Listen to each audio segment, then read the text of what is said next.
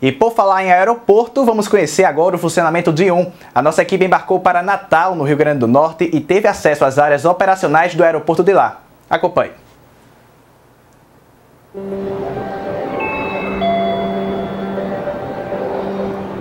É por aqui que milhares de viajantes passam diariamente. Aeronaves chegam e partem a todo momento. Um movimento intenso que dura 24 horas por dia. No ano passado, o aeroporto de Natal, aqui no Rio Grande do Norte, recebeu mais de 2 milhões e 300 mil passageiros, o que equivale a 6.300 viajantes por dia. Não é para menos. Daqui partem voos para mais de 10 destinos, inclusive internacionais. Mas para que o passageiro possa embarcar numa aeronave, é preciso seguir uma série de regras. Tudo começa no balcão de check-in. Aqui a placa já informa itens que são vetados na bagagem. Apesar de parecer óbvio que bombas e armas de fogo são proibidas, a balconista insiste em perguntar. Essa é uma norma internacional, tá, que é regida pela ANAC, que é a nossa reguladora, que é obrigado as companhias aéreas fazer esse tipo de informação, solicitar essa informação do passageiro para confirmar com o passageiro que ele não está levando nenhum produto que não é permitido entrar dentro da aeronave. Então isso é uma norma, é obrigatório fazer isso. Após o check-in, os passageiros seguem para o terminal, onde passam por uma inspeção de segurança. Após o check-in, o passageiro vai passar por uma inspeção, onde ele vai ser inspecionado, bem como suas bagagens de mão. Então, após a, a inspeção, se ele tiver tudo ok, ele vem para esse ambiente que é a sala de embarque. Em caso de voo internacional, ainda é realizado o controle de imigração com a presença de policiais federais. Após essas etapas, acontece o embarque na aeronave. Mas para que a decolagem possa acontecer, a autorização tem que partir daqui, da torre de controle.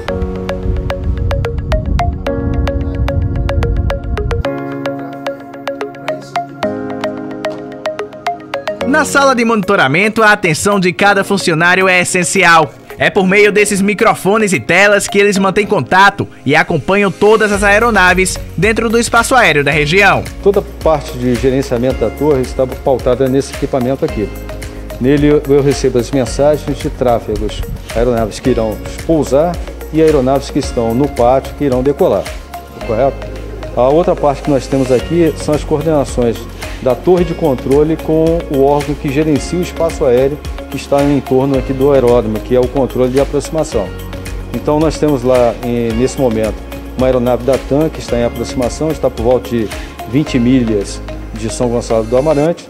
E quando essa aeronave estiver interceptando a final do procedimento, que é a final da pista 1-2, essa aeronave irá me chamar. TAM 3288, Torre de São Gonçalo, pouso autorizado, pista 12, ajuste altímetro 1010, vento 130 graus com 10 nós, tá 3288. Eu impouso 12, tá 328.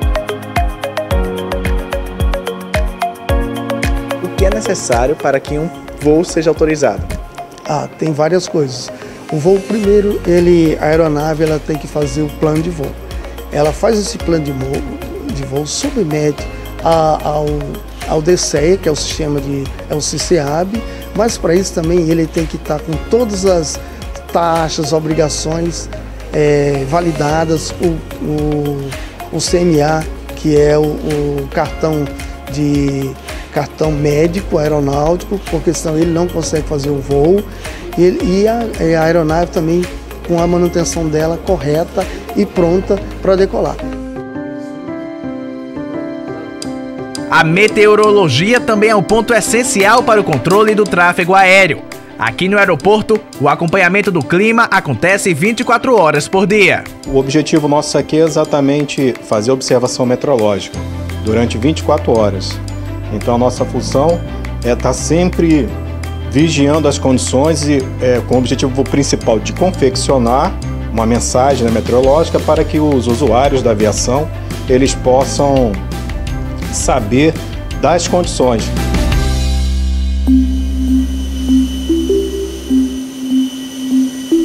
Trabalhando simultaneamente com a torre, os fiscais de pátio são responsáveis pela supervisão de tudo o que acontece na área operacional. Tanto fiscaliza as companhias como as exatas que prestam serviço. Passa a parte de segurança tanto na, no procedimento de embarque como desembarque, também como a gente tem a obrigação de fazer a segurança da vistoria em pista. Também junto com a taxiway para garantir o aeroporto em total segurança para tanto pouso como decolagem das aeronaves. Eles ainda contam com a ajuda do Centro de Coordenação de Operações, que monitora o terminal pelas lentes das mais de 400 câmeras instaladas. A gente controla aqui tanto a parte de terminal de passageiro, o que está acontecendo no terminal de passageiro, como eu controlo também tudo o que está acontecendo na parte externa, chamamos de área operacional do aeroporto. Tá? Eu tenho 24 horas o pessoal aqui controlando isso. E aqui também eu consigo controlar o que está acontecendo em nível de aeronaves quantos voos por dia, os horários que vão acontecer e eu faço a alocação de cada aeronave dessa e nas pontes de embarque.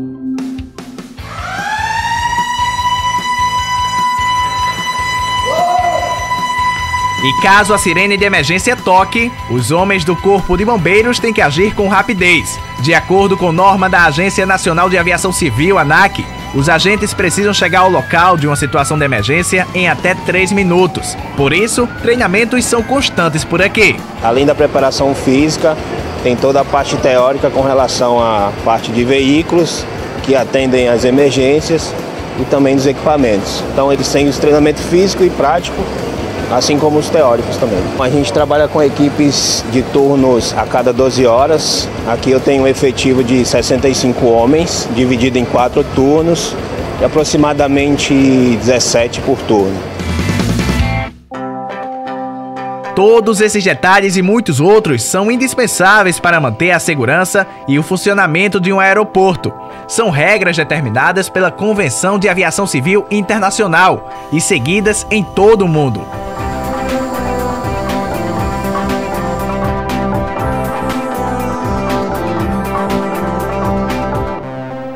Pois é, um agradecimento à Inframérica Aeroportos que permitiu a realização dessa pauta.